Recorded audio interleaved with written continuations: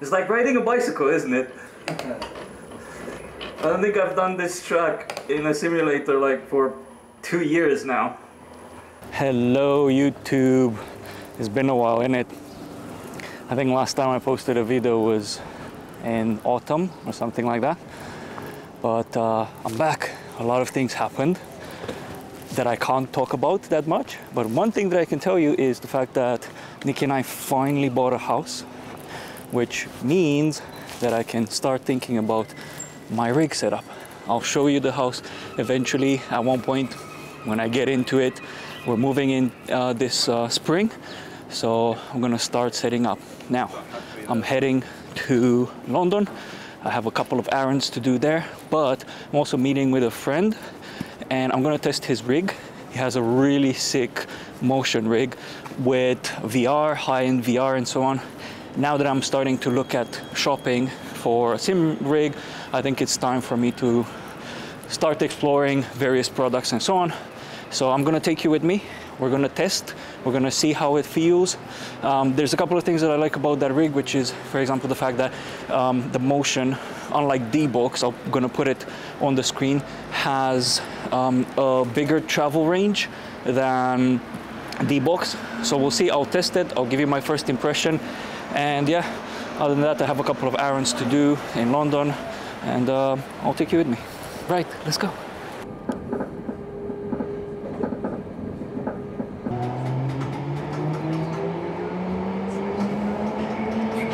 Right, so I'm gonna show you the rig in a second. I didn't get there yet, but I remember I wanted to mention something. I'm starting uh, a new series on this YouTube channel. Hope you're gonna like it. As I mentioned before, I want this channel to be about tech as well, not just sim racing.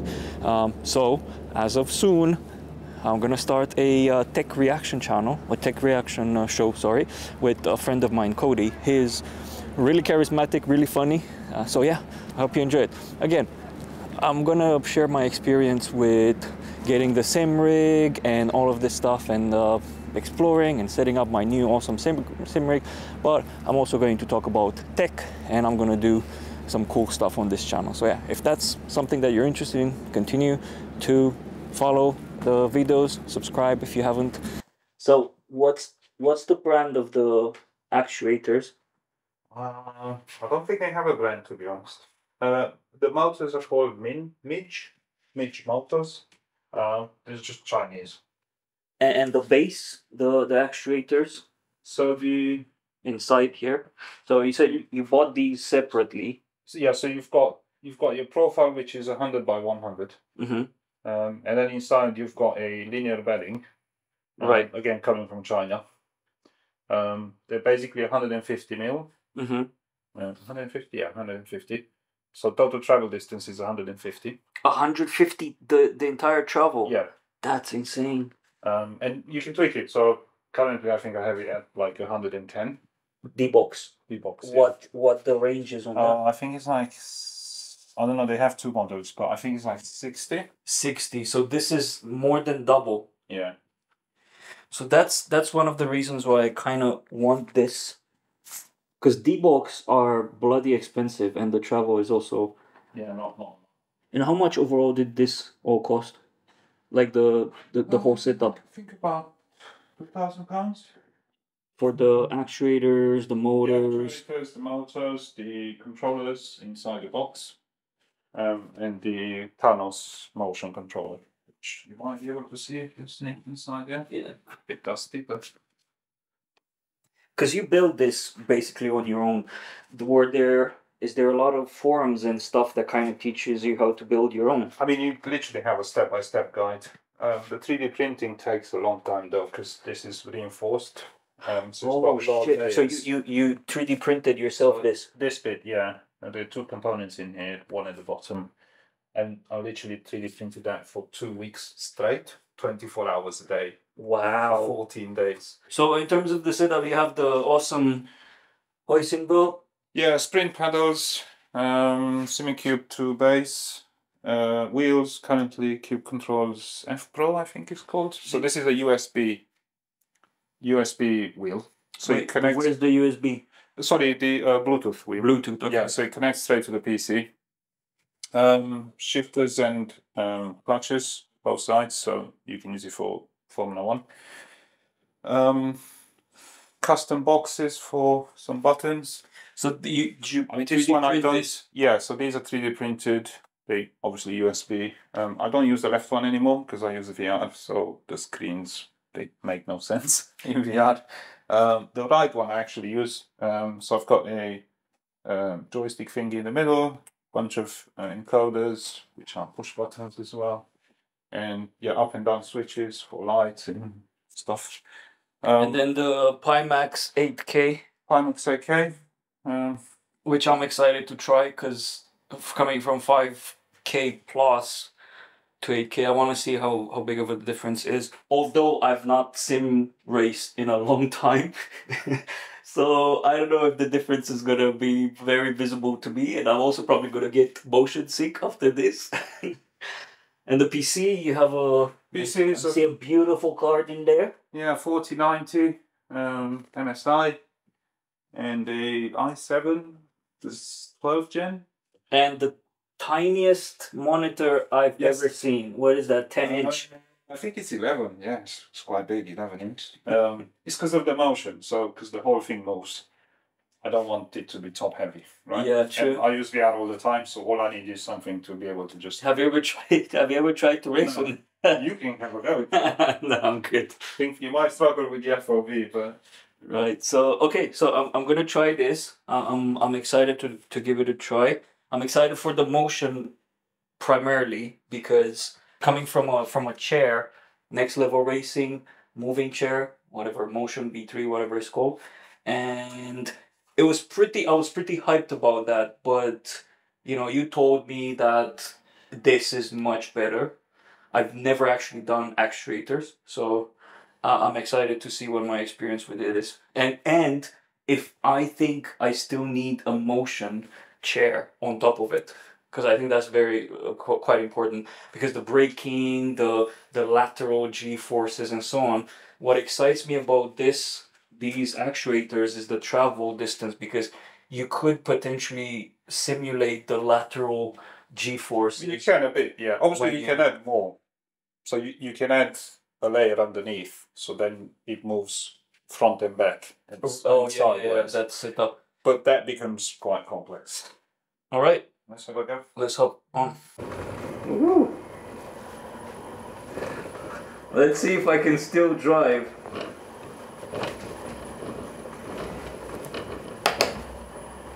Shifters are are really nice actually. The motion ooh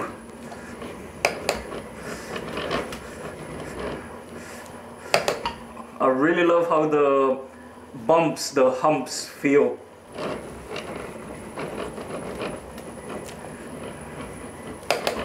I really like this lateral vibrations.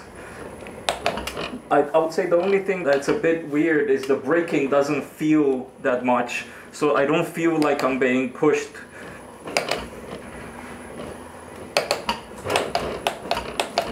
Whoops.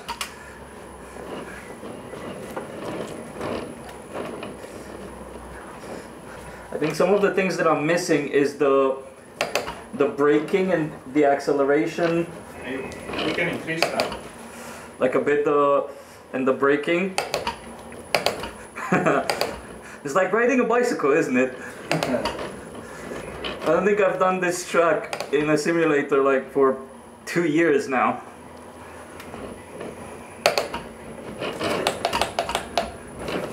Whoops! Whoa! right, so now the settings are a bit more aggressive, so I should feel the braking. And the, the, the other thing that was that I felt was missing a bit is the vibrations um, of, of the engine and the revs and so on. Um, but things are a bit more aggressive now, so let's see how I feel this time about it. Oh yeah, okay. Feels better. The shifting jolts are a bit... I mean, they feel good, maybe a bit too aggressive. Like the braking way better now. Of ACC, I don't think I've, I've not mentioned this, but I've not seen ACC this good in VR.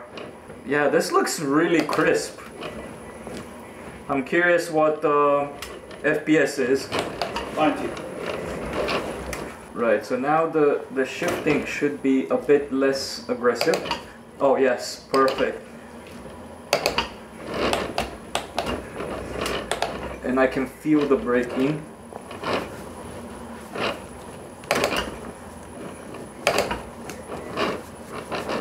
This is also a preference thing.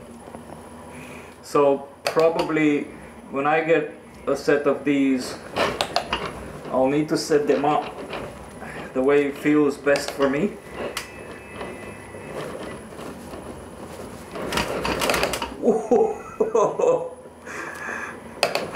I took the the sausage curve.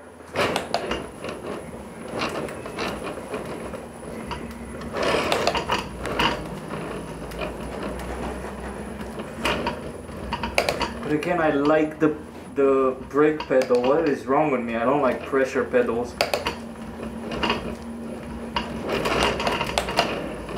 It's so good. Pedals make such a big difference. lock up. Okay, this is this is not a GT car. Okay. yeah, I'm looking. I'm looking around. This is so crisp. I can see so clearly the buttons, everything.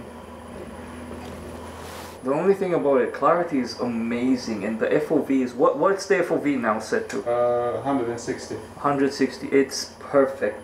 The only thing I would say is, because of the FOV and the lenses and so on, it's a bit front heavy um, compared to some of the other um, VR headsets.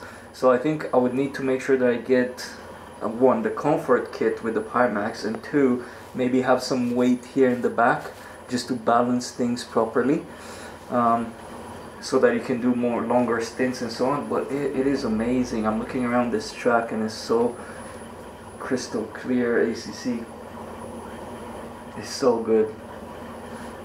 Oh man yeah, I'm really enjoying this. Let's see.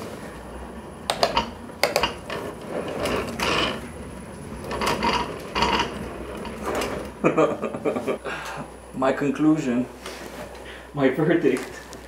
Um, I love a lot about the whole system. First of all, the whole swaying uh, when you get it, get a curve and the way it kind of like throws you left and right is super cool. You can feel the corners, I would say slightly less, at least on this setup, than the chair in terms of the G-forces.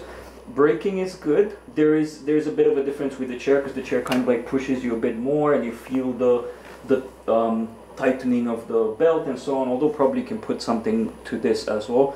Now you can probably set it up the way you want in order to make sure that um, you know it feels good to you because again you can make it as realistic as possible if you ever driven cars on, on tracks and so on. But in the same time is that playable? Are you going to be able to stay on track and, and spend time on track? So this is it seems like it's very customizable. I like the fact that i can adjust things. Now whether after i buy a system like this because i'm definitely getting the ones with the 150 travel after i buy a system like this am i going to miss the moving chair maybe but i think i'll need to first get the um, actuators live with it for a bit and then if i still feel you know what i want that g a bit more of those lateral and brake g forces then i'm probably going to put a motion chair on top of it. The 8k is phenomenal. Like the difference between 5k and and 8k this one here um, it's big. At least the last time I was in in in ACC. Um, do you have it at full 8K? Yeah. You have it yeah. um, up sampled as well. Yeah. So like the, it's so you can still see the the, the big a bit the pixels, but the difference between this and 5K is so much um, so much more detail, and the 4090 it does brilliant with this and I'm really impressed so I'm probably gonna wind up having a very similar system. The 4090 and the um, 8k I love the pedals as well. And you know what? I didn't feel the um, so this is very the brake pedal is very stiff you said yeah? Yeah it's for 45 kilos. But you know what? Compare the stiffness of, of this um, Heusinkveld to me stiffing up the V3s, huge difference. Like I feel like uh, uh, game changer, these pedals. I was able to press the, the pedal, uh, apply pressure, the amount of pressure that I needed. And I've never been a pressure kind of guy in a sense. With my Fanatec V3, I put, because everyone was saying crazy, oh, well, you know, pressure and uh, make them as stiff as possible. So I've done that and I didn't like it. So I had to take the uh, adjustments off and I was breaking travel, similar like with the, with the, the throttle. And I think now I'm starting to understand why people are so fanatic, fanat, fanatic, pun intended, about um, proper brake pedal with pressure on a proper set of um, of pedals like these, like the hoisting Heusinkveld. So thank you for letting me try this. It's it's it's, it's awesome. I wanna I wanna get to my new house and, and properly set up as soon as possible because I'm I, it give, gives me brings me back memories. This whole thing. So it has so many bloody settings. This is the Sim Magic Studio. Sim sorry, not Sim Magic, not Sim Racing Studio, and these are all of the configuration available this um, motion platform. Seeing the amount of um, configuration, the softening pitch roll and so on, um, just gives me confidence that I can probably set it up the way I need to.